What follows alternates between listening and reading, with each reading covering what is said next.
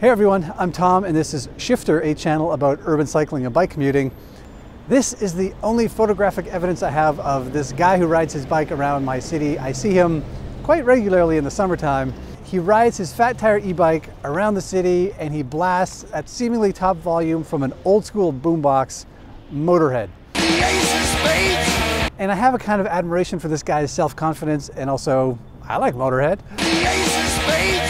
Uh, wondering if you have this dilemma in Canada just like I do. People cycling everywhere seem to have headphones, earbuds, and now portable speakers. Do you consider this acceptable while riding? That is a good question, Laura, and that is the subject of today's video.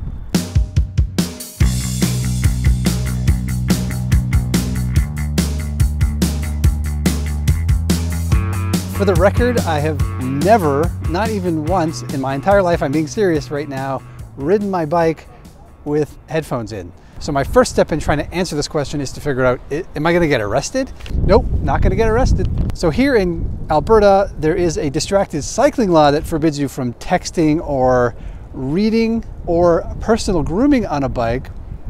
But interestingly, there is no prohibition against wearing headphones. It does, however, discourage it. Wearing headphones while cycling is legal, but not recommended. You are less likely to hear emergency responders railway crossing signals, and sounds that could warn you of danger. And so I'm not going to get arrested, but does that mean it's a good idea? I don't know. So my next step was to ask all of you what you thought. So I posted a couple of weeks ago on the uh, community tab of the Shifter YouTube page this question. We got a great response, hundreds of comments, and the consensus among all of you is there is no consensus you know, there's a fair chunk of people who thought riding with anything in your ears is a terrible idea because it makes you less likely or less aware of your surroundings and you'll get run over. However, I was surprised by how many of you said that you didn't think that riding with headphones was that big of a deal and lots of you do it all of the time. So with no consensus, I thought I'm going to take it upon myself to figure this question out. First up, I'll try the most common type, which are the earbud style headphones. And I've got my old Apple AirPods here right now. And yeah, I'm a little nervous about this. I, like I said, I've literally never ridden with headphones in my life, so let's hope I don't get run over, but let's give it a shot.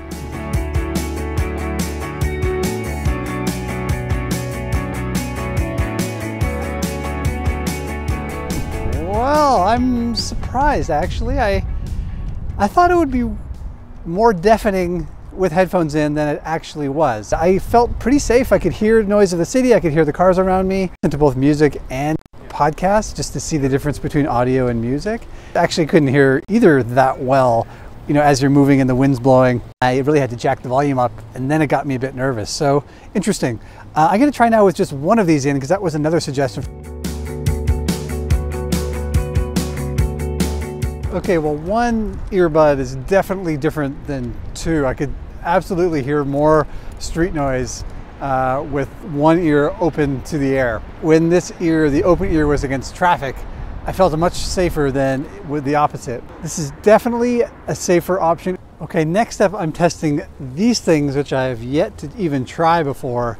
These came recommended by lots of you in the community. These are AfterShokz titanium and these are bone conduction headphones. Rather than covering your ears up, it actually gets music into your brain into your head by transmitting it through your bone actually bypasses your eardrum.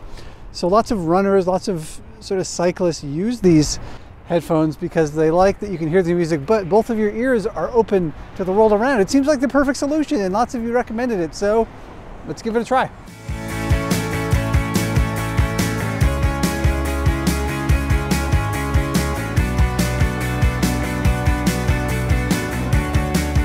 Well, that was an interesting experience. So a couple of things that I liked about these is they felt much more secure on my head than those earbuds. Especially AirPods are pretty good at staying in your ears, but you know, if you hit your, pull up your collar or put a hat on, they can fall out. And if you're riding a bike, bam, that thing's long gone. These things felt really secure on my head, so that's good. It's really interesting how they work. Your ears are open, but it's not like you know you can hear everything still. I mean, it still does take up some of your oral capacity if that's the thing. So it's not like a magic solution, but it is better. I also found that the audio on a podcast was much clearer on these. And I don't know why. Is there some science behind that? Uh, maybe one of you can tell me. Really interesting choice. Yeah. Okay, here's a new thing I've never seen before and I'm looking forward to trying out. This is what's known by some people as a bike helmet. This is a Sena X1S. Thank you to Sena for sending me this one to try out. But what's unique about this is that it has speakers built in right by your ears. So it's a Bluetooth connectivity. It can connect to your phone, play your music or your podcast right into your ears. They actually sent me two helmets. This one's a bit of a different design. This is more of an all sport design versus a bike one. But these helmets can actually link up. You can communicate back and forth, sort of like motorcycle helmets. Through Bluetooth, you can actually talk to your friends. This would be good on group rides, I think, or with groups of people. You can all communicate back and forth. I'm looking forward to trying these things out, so let's give it a go. Okay, so I've ridden around for a while and I've listened to both music and podcast with this uh, helmet on, and I gotta say, I'm pretty impressed. It kind of makes me wonder why this kind of thing hasn't been built before. So the audio quality is pretty good. I could definitely hear music better than the podcast, especially on a windy day like this. The noise from the helmet does get around you, so people around you will hear it. If you're like, maybe you have a secret Taylor Swift fixation, but you're kind of embarrassed about it, you don't want people hearing what you're listening to, you need to be aware of that. But overall, I'm kind of impressed with this. I can really see how the connectivity between the helmets would be great too. I'm really looking forward to trying it out with a friend so we can talk back and forth. Good job, Sena. These uh, are a really cool option. Well, it's getting dark and cold, so I'm dressing for it just in time for the last test of the day. And this is the simple, plain, can you call it old fashioned? Old fashioned Bluetooth speaker. JBL Clip 4, waterproof, super sturdy. It's got this little uh, carabiner style clip on it, so you can just clip it on your bike and go. Let's give this one a go right now.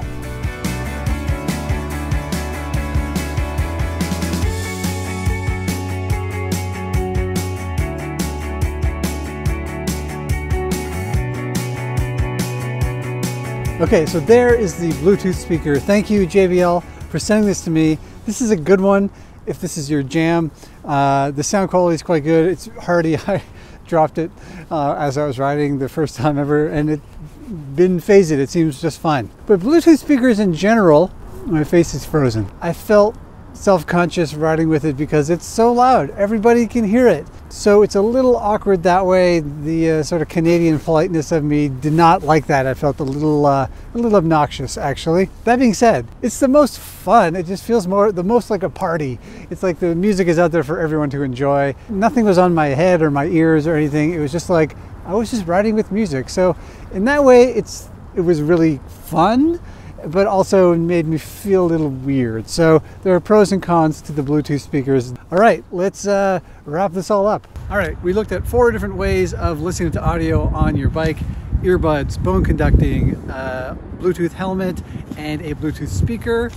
I know you hate when I say this, but they all have their advantages and it sort of depends on what kind of riding you're doing. I mean, I've been transportation cyclist, so um, I have different needs in an urban environment than it might be if you are a roadie with your Peloton out in the country. Of those, I would say actually my favorite might be the bone conduction ones. They seem to be the nice mix of all of those um, elements. Pretty good audio, best quality podcasting of all of them and it did keep my ears open to the environment uh, all around me. I would recommend those helmets if you like some audio and you want to connect with other riders on your group. That seems pretty cool. The earbuds were my least favorite. Uh, I just didn't like having my ears plugged as much and I was worried about them falling out. And the Bluetooth speaker I would say is best if you're going on a party ride. If there's a bunch of friends around and you all want to enjoy the music together, go for that. Otherwise, it just feels a little maybe just a little obnoxious for me. But that wasn't the question originally. The original question was, should you listen to audio while riding a bike? And the answer for me is going to be no, I don't think I'm going to in most cases. One of my favorite parts of riding a bike is that it sort of gives me a break from everything else, from screens and from input. Uh, I just like the, the disconnection that riding gives me. I just sort of like the sort of sensory experience of riding a bike and um, taking your ears out of that does change the experience of it. And the third reason is for safety. And before I made this video, I would have said you'd be crazy for listening to audio while on a bike. I've changed my tune on that. This changed my tune. See what I did there? This has showed me that it's not crazy to listen to audio on a bike.